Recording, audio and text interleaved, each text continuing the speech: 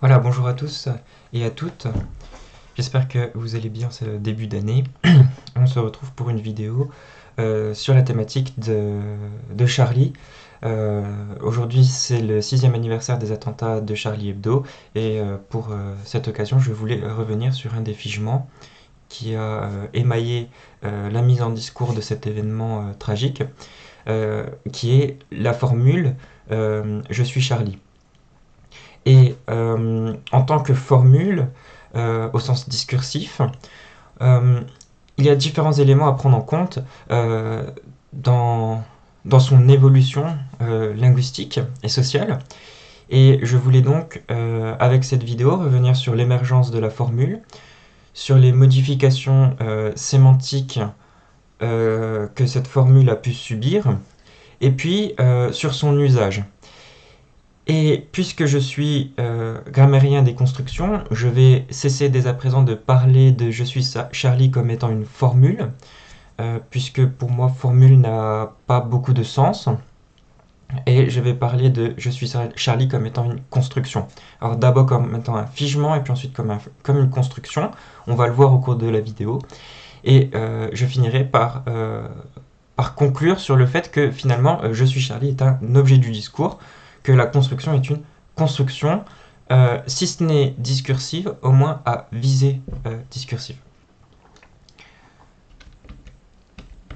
Alors, on va commencer euh, par redéfinir, si c'est nécessaire, ce qu'est une construction, ce que sont les constructions.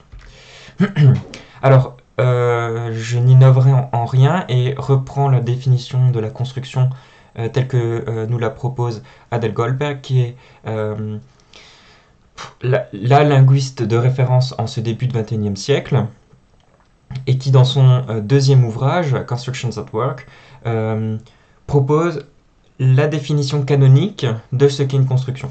Je lis, Any linguistic pattern is recognized as a construction as long as some aspect of its form or function is not strictly predictable from its component parts or from other constructions recognized to exist. In addition, patterns are stored as constructions even if they are fully predictable as long as they occur with sufficient frequency. Donc on retient deux éléments euh, de cette euh, définition plutôt courte. D'abord que les constructions sont une association d'une fonction et d'une forme. Par fonction, j'entends le sens euh, sémantique, le sens qu'on va trouver dans le dictionnaire, et le sens euh, pragmatique, le sens en usage, puisque euh, on le sait bien, les, mots acquièrent leur sens dans l'usage, et ça c'est euh, Wittgenstein qui nous l'apprend. Donc on retrouve ici en bas de la diapo une construction, un schéma constructionnel, avec une fonction, agent, thème, patient, ce sont ces éléments-là sont ce que l'on comprend, et la forme, sujet, euh, objet direct, objet indirect, ce sont euh, les rôles syntaxiques, les rôles grammaticaux. C'est comme cela qu'on euh, transfère le sens, hein, qu'on coordonne chaque unité du sens. Et ces éléments-là sont figés, stabilisés,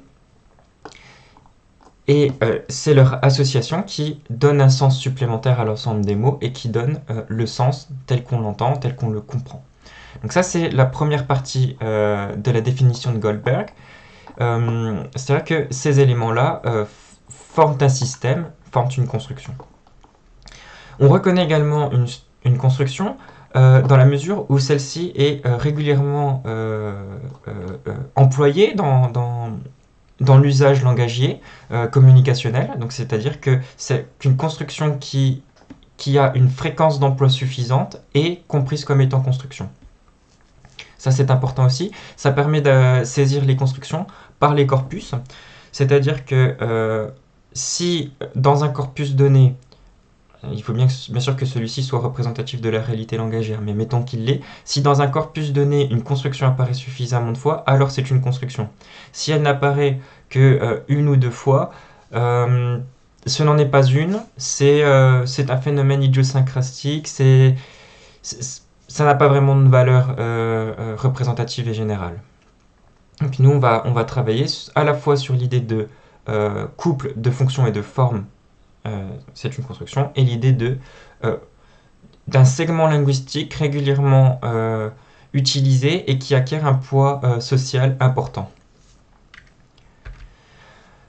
en plus de cette construction-là, il nous faut accepter l'idée que finalement, dans la langue, dans les langues, tout est, est construction. C'est ce que Goldberg dit d'une façon un petit peu plus humoristique que moi. It's constructions all the way down. Ça veut dire que euh, du plus petit morphème jusqu'à euh, des constructions assez complexes, tout est construction. Alors, le type de construction évolue.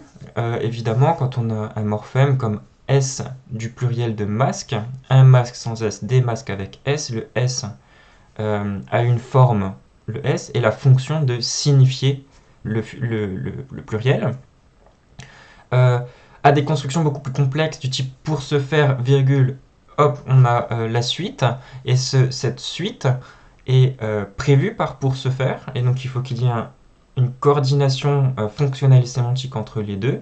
C'est-à-dire qu'on ne peut pas mettre pour se faire adjectif, pour se faire beau. Bon là ça fonctionne, mais pour se faire... ça ne veut pas dire la même chose évidemment, mais pour se faire fini, ça ne veut rien dire. Donc là, il nous faut une nouvelle construction. C'est ce que ça veut dire. Euh, donc vous voyez là sur le, tableau qui apparaît euh, un ensemble de, degrés d'abstraction dans les constructions qui vont donc du morphème euh, au groupe propositionnel, hein, sur Paris ou à Paris, au phraséologisme, donc aux structures relativement figées. Encore que euh, on, peut distinguer différents types de phrasèmes, hein, euh, à son corps défendant, à mon corps défendant. Là, on a une petite variable au niveau euh, du déterminant possessif. Un coup de Trafalgar, ça c'est relativement figé, mais la fonction va évoluer. Et on peut avoir un amour de x, où x là peut également évoluer. Et puis après, plus on va vers le bas du tableau, plus on va accéder à des constructions complexes.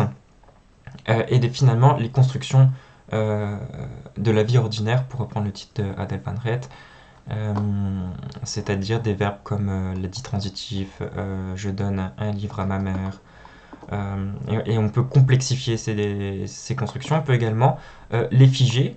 par exemple, j'ai pris l'exemple de la construction de transfert. on peut avoir au niveau générique finalement le schéma constructionnel de la construction de transfert avec un verbe à l'indicatif, mais ce même schéma peut être euh, contraint par un verbe précis, par exemple envoyer, et à ce moment-là, le reste de la construction est variable, mais envoyer va euh, limiter l'empan constructionnel. L'empan fonctionnel comme l'empan euh, syntaxique. Donc, ma, définition de construction part de la définition de Adele Goldberg et est enrichi par euh, les travaux successifs de l'école allemande, en particulier de Alexander Thiem à Düsseldorf et de Alexander Lasch euh, à Dresden. Euh, et, c'est surtout finalement les travaux de Alexander Lasch qui vont m'intéresser, qui vont nous permettre de progresser dans la caractérisation, la définition, l'observation du langage de la vraie vie du langage tel qu'il est utilisé euh, par les individus, plutôt que de rester, euh, comme euh, certains grammairiens encore aujourd'hui, à, à, des réflexions sur des exemples qui sortent de leur tête et qui ne sont pas donc intéressants pour, pour décrire le, vrai langage. Et justement, en parlant de vrai langage, de vraie structure, je, je, suis Charlie et, est une construction tout à fait, tout à fait intéressante parce que euh, en l'espace de quelques années, on a pu voir euh, euh, à la fois la forme, à la fois la fonction évoluer, et puis finalement son ensemble évoluer d'un espèce d'un objet du discours résultant d'une action sociale à à cette fois une, construction discursive qui a un, potentiel de sens assez énorme et qui va varier en fonction des, aléas euh, socioculturels. Donc c'est tout à fait intéressant et, euh, ça va tout à fait éclairer euh, la notion de construction. Alors, on, repart finalement, on est obligé de repartir du début de Je suis Charlie, donc le 7 janvier 2015, on a l'attentat devant les locaux, et même dans les locaux de Charlie Hebdo. émerge dans la foulée par le journaliste Joachim Ronsin le hashtag Je suis Charlie, en plus du, symbole de l'affiche qui va marquer euh, les années qui vont suivre et, tous les attentats. Donc je suis Charlie apparaît avec le hashtag je suis Charlie. Et on va avoir progressivement, et déjà là on a euh, une modification, c'est-à-dire que le tweet euh, porte le hashtag je suis Charlie, et dès ce tweet-là, au moment de la publication du tweet, on a un transfert du figement absolu je suis Charlie, qui est le hashtag, vers une ouverture syntaxique je suis Charlie. Pourquoi ouverture syntaxique? Parce que euh, les hashtags sont figés. Une fois qu'un hashtag est euh, récurrent, on ne peut plus le transformer. Mais une séquence euh, linguistique plus traditionnelle, telle que je suis Charlie, ça, ça peut bouger. Ça, c'est plus flexible. Et on le voit bien. Hein. D'ailleurs, les espaces entre les chaînes de caractères montrent bien peut-être ce surplus dynamique que, n'a pas un, hashtag, et c'est logique finalement, euh, de par la définition même du hashtag. Et, finalement, Je suis Charlie va se transformer euh, dans les jours qui suivent, toujours euh, début janvier 2015, dans les jours qui suivent, on va avoir un concept qui va émerger, qui est être Charlie, qu'est-ce qu'être Charlie hein Rappelez-vous de ces nombreux titres de presse. Et finalement, je suis Charlie, ça va devenir, ça va faire référence d'une certaine manière à la liberté euh, d'expression. je suis Charlie, c'est euh, être pour la liberté d'expression. Donc voilà, en l'espace de quelques jours, même de quelques minutes au début, juste après les attentats, on a l'émergence du figement. Ce figement devient d'une certaine manière un figement un petit peu plus flexible. Et le figement euh, devient presque euh, institutionnalisé, il devient concept. Et à partir de là, il va, il va euh, connaître une vraie... il va y avoir beaucoup de mouvements. ça va être quelque chose de très dynamique dans la langue. dans la langue française moderne de, de ce début de 21e siècle. Et justement, euh, on va voir à quel point finalement une structure comme Je suis Charlie peut connaître euh, des mouvements de forme et de fond, mais surtout des mouvements euh, d'amplitude discursive particulièrement intéressants. Et finalement, il n'y a pas besoin de grands discours. avec ces quelques exemples, on va pouvoir voir à quel point finalement Je suis Charlie est ambivalent et, dynamique. Alors avant, avant de moi-même faire l'analyse, euh, je vous renvoie à l'article en français de Prague Derrington, paru en 2017, euh, qui reprend en fait dans une autre perspective que la mienne, hein, mais qui reprend d'un point de vue pragmatique l'évolution des usages euh, de Je suis Charlie.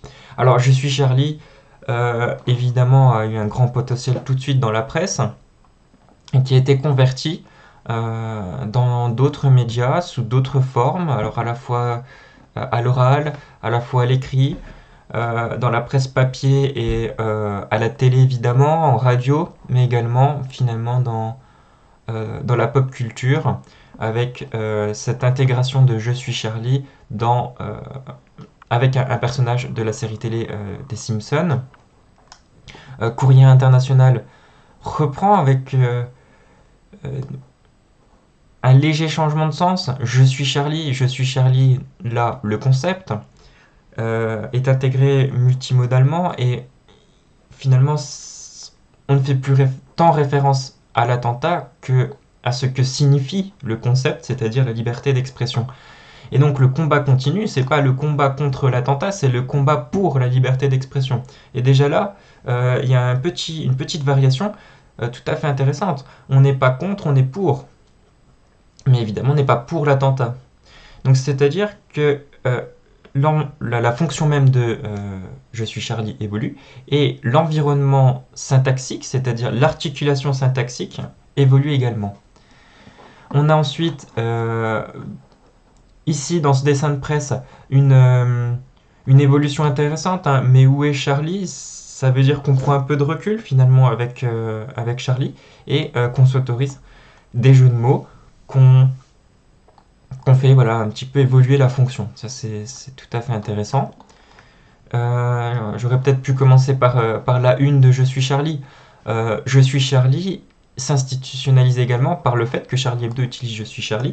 Et, euh, là, on voit bien euh, finalement qu'on n'est pas encore tout à fait avec cette une de Charlie Hebdo dans une revendication de liberté d'expression. Euh, là, Je suis Charlie renvoie davantage à, à l'attentat et, au décès et finalement à la douleur de l'attentat. Voilà, à la douleur de l'attentat. Euh, si on prend cette autre, euh, ce, titre d'ouvrage, euh, là on le voit bien. Je suis Charlie, liberté, j'écris tes mots. là c'est évident qu'on on est très loin de l'attentat, très très loin. On est beaucoup plus proche finalement de la liberté d'expression et de ce que signifie le concept je suis Charlie, la construction du concept.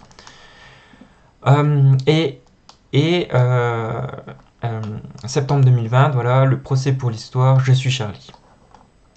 Donc là, euh, c'est un petit peu les deux, il faut, faut, le reconnaître. Donc on voit bien à quel point finalement on part, on a une véritable encre qui est l'attentat. Et puis ensuite on va avoir une, des variations, des variables selon, selon j'ai presque envie de dire, l'ordre du jour médiatique. Doit-on faire plutôt référence au, à l'attentat ou plutôt à la liberté d'expression? Et, qu'est-ce que l'on veut dire? Quelle, est la, quelle, va être la, fonction, euh, l'intentionnalité finalement des locuteurs? Quel message va-t-on vouloir faire passer? Euh, J'en viens maintenant aux modifications structurelles de Je suis Charlie. Là, jusqu'à maintenant, on a vu des modifications fonctionnelles, euh, un tout petit peu des fonctions, des, modèles, des, évolutions syntaxiques dans l'articulation. Et c'était plutôt ce que l'on voulait dire, le, message qu'on voulait euh, faire passer. Euh, évidemment, c'est toujours par là qu'il faut commencer, par la fonction, par le sens. Mais on va euh, s'apercevoir là dans, les secondes qui viennent que l'entité je suis Charlie a subi des modifications structurelles qui ont finalement favorisé son ancrage discursif.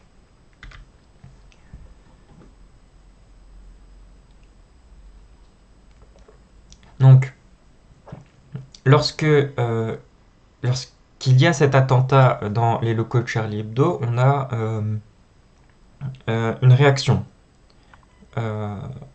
forte, vive, qui est transmise par la parole, par la voix. Et donc on a, non, par la voix, mais aussi par, par le clavier, avec, on l'a vu, le hashtag Je suis Charlie. Et ça, finalement, cette réaction va s'institutionnaliser, cette façon de, réagir va s'institutionnaliser, et de l'ancrage je suis Charlie, c'est-à-dire euh, il y a une attaque sur le sol français, et, euh, et je l'accepte, mais je la, et je la, euh, et je revendique mon droit à être contre, à, manifester une opposition systématique en faisant référence à à la liberté. Certains diront même que puisque la France est soi-disant le pays des lumières et des libertés, euh, cela fait sens en disant je suis Charlie, je en tant que Français euh, combat le, terrorisme par les libertés. Et euh, par cette construction qui au final est très médiatique, très journalistique, qui je suis Charlie ne veut strictement rien dire, ne serait-ce que parce que la copule être ne veut rien dire en tant que telle, euh, je suis Charlie, c'est faux euh, d'un point de vue euh, vériconditionnel, on va dire dans une sémantique des, premiers temps. En 1900, on aurait dit c'est faux, ce n'est pas possible. Et quand on y réfléchit, c'est tout à fait correct. Moi, je suis Mathieu, je ne suis pas Charlie.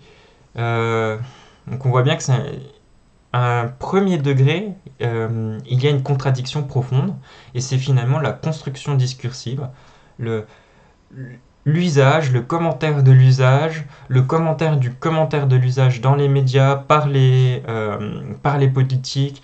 finalement par monsieur et madame tout le monde, qui va construire je suis Charlie et qui va lui conférer un poids qu'il n'a pas percé. Et là, on va se rendre compte que ce poids-là est tellement important qu'on va pouvoir l'utiliser pour d'autres situations.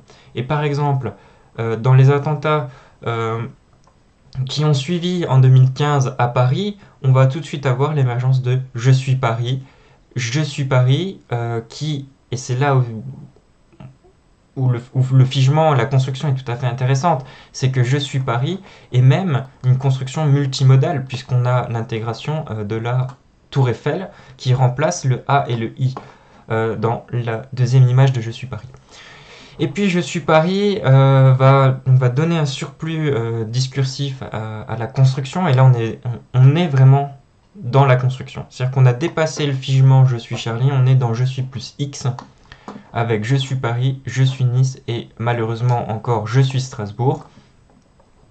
donc on a voilà un ancrage fonctionnel syntaxique, c'est-à-dire je revendique euh, les libertés après euh, un attentat, le plus souvent, et au niveau syntaxique, je réagis en étant je suis plus X ou X est une métropole euh, ou est une ville qui a subi l'attaque. Donc on a finalement un processus d'abstraction avec une structure tout à fait figée, je suis, et d'ailleurs c'est même pas je suis, c'est je suis, plus x, et, ça, et ce x là, voilà, il est variable. On va pouvoir euh, modifier. Je suis Charlie, je suis Paris, je suis Orlando, Bruxelles, Istanbul, Nice, Bagdad, Bangladesh. Et finalement, où là, le voyant ainsi, ça a un potentiel comique en plus. Je suis Charlie, je suis Paris, blablabla, je suis épuisé, je suis récupération. Donc là, on voit bien que l'élargissement euh, fonctionnel a d'abord joué sur euh, la variable syntaxique lieu, plus précisément ville, et de ville, on est passé à pays. Regardez, je suis Bangladesh. Et partant finalement de cet élargissement euh, de la localisation, autant au niveau euh, syntaxique, puisqu'on a un complément circonstanciel de lieu, qu'au niveau sémantique, puisqu'on a euh, un rôle sémantique dit de localisation, euh, on va rouvrir et finalement se rebrancher sur l'usage normal, si je puis dire, de la, de la construction avec je suis épuisé.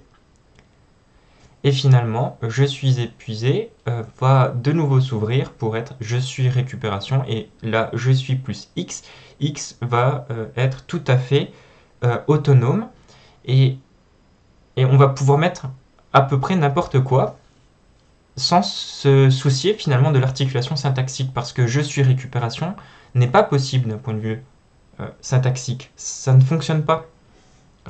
on n'attend pas après sujet verbe un substantif comme celui-là lorsque le verbe est être. Donc là c'est Là, c'est vraiment l'élargissement fonctionnel absolu. Hein.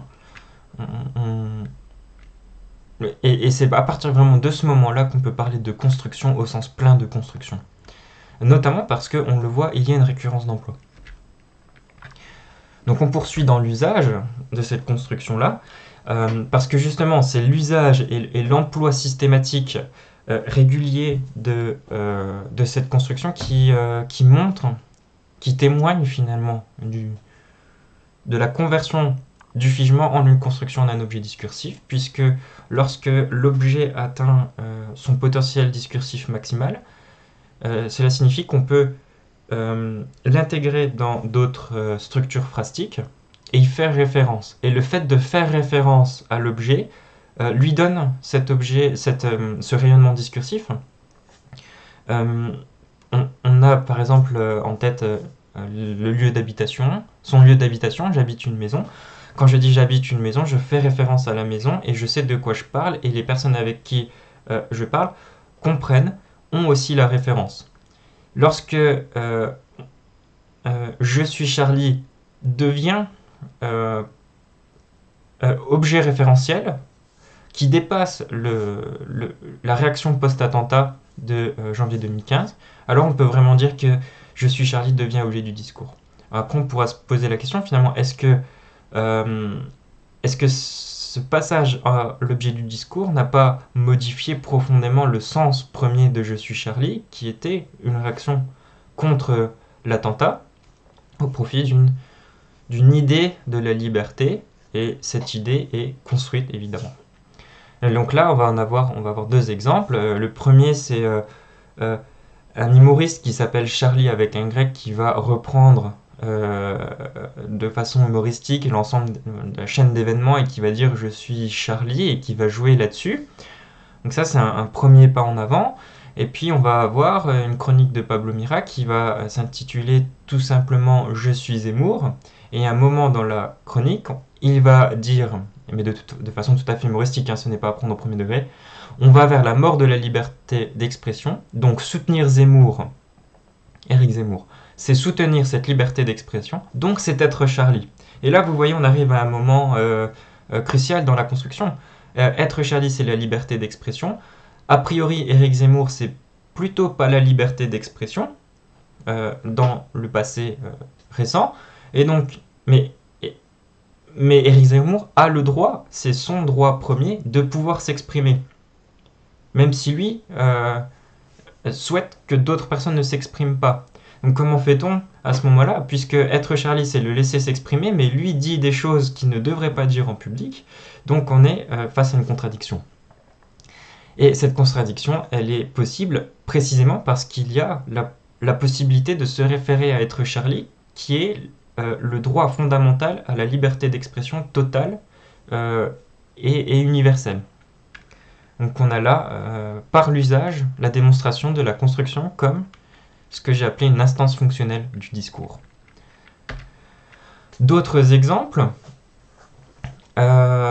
où ma conclusion est finalement que lorsque je dis je suis X, ça veut dire que je soutiens X et que X est ou est lié à une liberté fondamentale. Je suis lesbienne, gay, bi, etc. Je suis infirmière. Euh, encore une fois, Charlie Hebdo. Et puis là, on voit tout à fait là, euh, dans, ici, euh, dans ce livre-là, le, lien. Hein, je suis Mila, je suis Charlie. Et là, attention, c'est intéressant. Nous sommes la République. donc on a encore une, dynamique supplémentaire dans la construction qui se détache finalement du figement premier je suis et qui devient nous sommes. Voilà. Euh, on peut se rendre également compte du poids euh, et de alors du poids discursif et de l'instance fonctionnelle qu'est le discours précisément parce que la construction est intégrée à l'international dans d'autres langues étrangères et on y fait également référence. Euh, pour que cela fonctionne, évidemment, il faut qu'on ait un, socle socioculturel commun. Donc ça va bien fonctionner euh, pour toutes les langues cultures, on va dire euh, occidentales, toutes les puissances de l'Ouest. Puisqu'au final, voilà, je suis Charlie, ce n'était pas uniquement franco-français. Donc on va voir juste après Je suis Charlie, les attentats euh, des personnes qui vont se manifester, qui vont avoir par exemple We are Charlie ou Charlie, ça dépendra d'ailleurs. Euh, la prononciation euh, est là particulièrement intéressante. Lors des attentats à Berlin au marché de Noël en 2016, on va également avoir. alors là, c'est plus c'est plus complexe, mais on, peut voir un lien, on peut y voir un lien finalement avec le, avec Je suis Charlie lorsque euh, les Berlinois et finalement le monde entier euh, écrit Ich bin ein Berliner, qui fait référence au Ich bin Berliner de Kennedy en 1963, mais il voulait dire Ich bin ein Berliner. Donc là, finalement, j'ai presque envie de dire la boucle est bouclée. Euh, du Ich bin Berliner de Kennedy à Ich bin ein Berliner, on a finalement l'ensemble de Je suis Charlie compacté en, une, euh, une intervention euh, linguistique.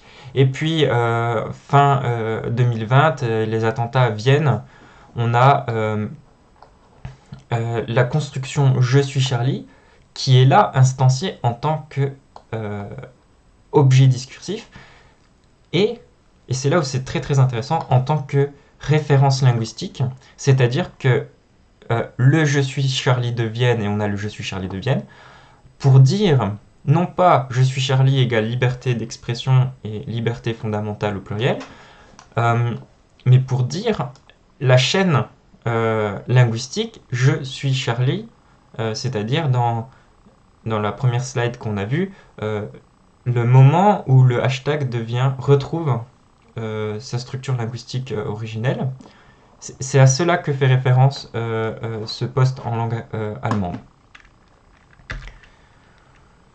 Euh, donc on a vu dans les cinq ans après euh, les attentats à Charlie Hebdo une ouverture fonctionnelle euh, et syntaxique de la construction. Et avec les événements de fin, de fin 2020, on va voir un retour finalement aux sources de la fonction de je suis Charlie et un retour vers davantage le, complexe linguistique plutôt que euh, le concept de liberté. Euh, et cela par deux événements. Le premier euh, avec de nouveau une attaque devant les anciens locaux de Charlie Hebdo le 25 septembre 2020, et puis l'attentat contre le professeur Samuel Paty. Et là, on va avoir tout de suite dans la presse un retour vers le Je suis Charlie de départ. C'est manifeste dans euh, les premières lignes de l'article que j'ai repris ici. Et puis c'est manifeste là euh, dans les illustrations. Je suis prof, je suis Samuel, je suis enseignant. Et finalement, à partir de ce retour aux sources, on réouvre vers la liberté d'expression. Donc on voit bien que finalement, le Je suis Charlie ne souffre à aucun moment d'enfermement discursif. Il ne se referme pas sur lui-même. À chaque fois qu'on revient à Je suis Charlie, on rouvre vers Je suis plus liberté. Et là, ça se retrouve dans ce, petit extrait hein, euh, qui, est, euh, qui est Charlie, qui n'est pas Charlie, euh, qui est en fait finalement un moment charnière de bascule avec ceux qui disent être Charlie, ceux qui ne disent pas être Charlie. Et quand on ne dit, quand on ne dit pas qu'on est Charlie, alors ça veut dire ça. Et là, on a euh, vraiment l'exemple euh, parfait finalement de, de la mise en discours et de l'instanciation discursive d'un objet phénoménal. Donc finalement, si on a une séquence linguistique qui est devenue objet discursif qui, a, qui est potentiellement euh, réinstanciable euh, dans des structures de discours tout à fait nouvelles et euh, qui s'éloignent grandement du point de départ, ne peut-on pas dire que cette construction est discursive ou à, tout le moins qu'elle a un potentiel discursif, ce que j'ai moi appelé une construction à visée discursive je l'avais euh, déjà, euh, j'en avais déjà euh, tracé les premiers fondements théoriques à partir de, de la construction, quoi qu'il en coûte, de Emmanuel Macron, avec ses discours sur le Covid. et au 1er décembre, pardon, au 31 décembre 2020, dans ses vœux aux Français, il instancie lui-même cette construction. moi, je l'ai étudié en décembre, voilà, après le, deuxième confinement, où il avait déjà, où il était déjà passé du figement quoi qu'il en coûte, qui apparaît trois fois dans le premier euh, discours, euh, dans les premiers discours du confinement, euh, qui devient finalement le quoi qu'il en coûte, le quoi qu'il en coûte d'Emmanuel Macron, puis ce quoi qu'il en coûte, lui-même va s'appuyer sur, sur ce figement devenu construction en disant euh, le quoi qu'il en coûte continuera. Donc là, euh, c'est manifeste, c'est évident. Le figement devient construction, la construction devient objet du discours. Et puis, le 31 décembre, euh, il dit quelque chose comme le quoi qu'il en coûte n'était pas, pas vain, etc. Enfin bref, il fait référence à ce quoi qu'il en coûte, ça ce sont ces mots, ce quoi qu'il en coûte, mis entre guillemets, donc là, euh, c'est manifeste, c'est évident, on fait référence à l'objet du discours, avec le ce. Donc, c'est peut-être pas euh, parfait comme euh, théorie, certainement pas. Construction à visée discursive, on peut discuter construction discursive, construction à visée discursive, instanciation constructionnelle d'un objet discursif, voyez, on peut se couper les cheveux en quatre sur le nom. Mais il y a, à mon avis, là un potentiel théorique et méthodologique. Donc, qu'est-ce que euh, j'entends par construction à visée discursive? J'entends un ensemble fonction-forme qui est stabilisé, hein, qui une construction finalement. Voilà, il faut que ce soit une construction euh, au, sens premier de Goldberg 95 euh, et que la fréquence d'emploi est suffisamment élevée pour acquérir une reconnaissance sociale étendue. Là, on passe sur Goldberg 2006-2019. Sa fonction sémantique et communicationnelle s'étend de la proposition qui la déploie et s'ouvre vers l'extériorité du texte, donc fait référence à quelque chose qui n'est pas dans le texte. Von Paulens en allemand parle alors euh, d'un sens entre les lignes. C'est de ça qu'il s'agit, c'est-à-dire qu'on dépasse la matérialité de la phrase et du texte. Et lorsque euh, la construction dépasse sa proposition, son, enfermement matériel, alors c'est une construction discursive ou à visée discursive. Et lorsque le poids communicationnel, c'est-à-dire fonctionnel au sens le plus large, euh, dépasse le poids fonctionnel et communicationnel des autres constituants de l'ensemble texte, alors cette construction-là dispose réellement d'une visée discursive. Et dans un texte où on a un je suis Charlie qui émerge, ou dont l'objet est je suis Charlie, on se doute bien que le sens transmis n'est pas restreint au texte, mais qu'il fait référence à un ensemble de connaissances très larges, sociales, épistémiques, euh, linguistiques, qui dépassent le texte, qui renvoient donc à autre part, cette autre part est le discours.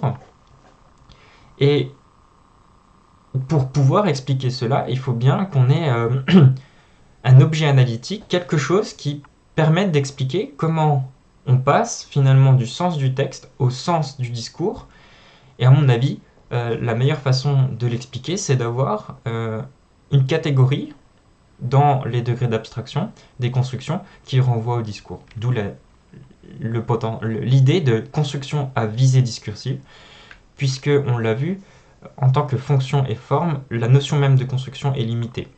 C'est-à-dire que je ne crois pas aux constructions de type texte, ça, ne fonctionnerait pas, mais ça c'est un autre sujet. Donc c'est pour ça qu'on a besoin d'une visée discursive, qu'on a besoin d'ouvrir euh, la fonction vers le discours sans euh, porter atteinte à l'intégrité définitionnelle de, euh, de la théorie des constructions. Et finalement, pour conclure, les constructions, lorsqu'elles sont, lorsqu'analysées pardon, textuellement sur corpus d'un contexte, deviennent une porte d'entrée vers 1. les routines cognitives d'un groupe d'individus.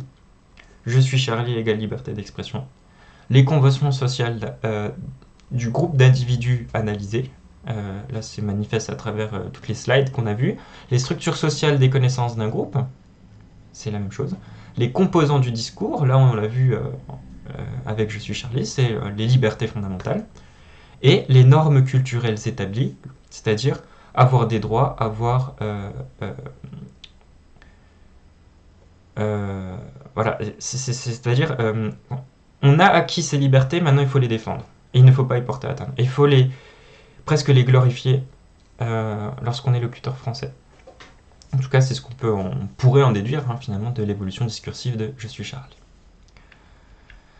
Voilà, donc euh, avec cette vidéo, on a finalement vu euh, qu'après un, événement social fort, on a eu l'émergence d'une structure discursive tout à fait figée, que cette structure discursive figée, euh, non pardon, que cette structure linguistique figée est devenue structure discursive figée, qu'elle est devenue concept, que ce concept a été réinstancié, faisant alors du figement et du concept une construction, que la construction a subi des modifications fonctionnelles assez larges. Hein. Je suis Charlie, je suis Paris, je suis euh, Bangladesh. Puis que je suis Charlie en tant que construction a subi des constructions, des modifications syntaxiques. Nous sommes République. Et puis finalement que l'ensemble constructionnel est passé à un niveau discursif. On va pouvoir faire référence à je suis, Charlie, le je suis Charlie euh, viennois et blablabla.